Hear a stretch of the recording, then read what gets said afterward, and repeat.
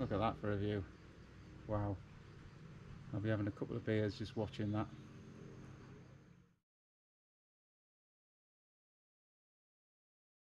Hi guys, so I'm back from a trek.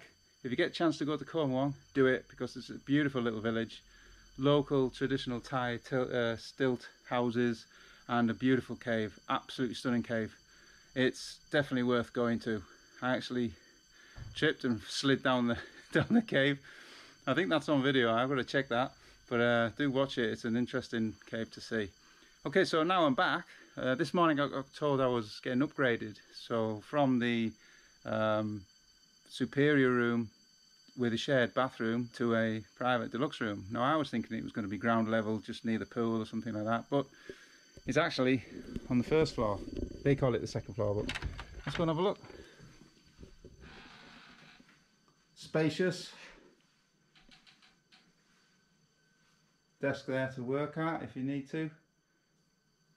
And lovely huge bed. and we'll go towards the terrace stroke balcony got a couple of chairs there but the the best bit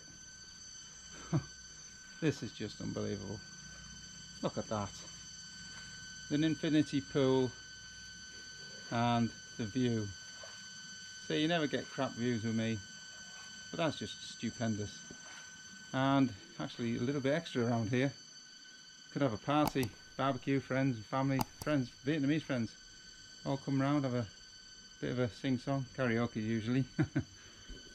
so, look at the size of this. So, thank you Eco Garden for the upgrade. Absolutely blown away. Such a beautiful place. Huge bed. Gonna need to book a taxi to find my way out. I don't really mess about with mosquito nets, but uh, that one looks a decent decent one and not to mess around with. If you did need to come out this way this is the size of the terrace you can see. Huge area. I'm never going to use it but wow. And the bathroom. Very nice love the bamboo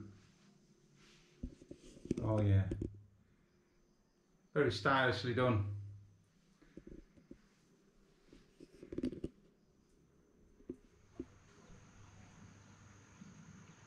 So that's my upgrade. And if you wish to have this room for a trip to Pu Luong, just give us a shout. We'll include it in your trekking and cycling and motorbiking if you wish. You don't have to do the motorbiking. Um, you can use a private car to go all the way around it's just a superb, wonderful place. So if you get a chance to come to Vietnam, I know you can't at the moment, or if you are living in Vietnam and you're an expat, give me a shout.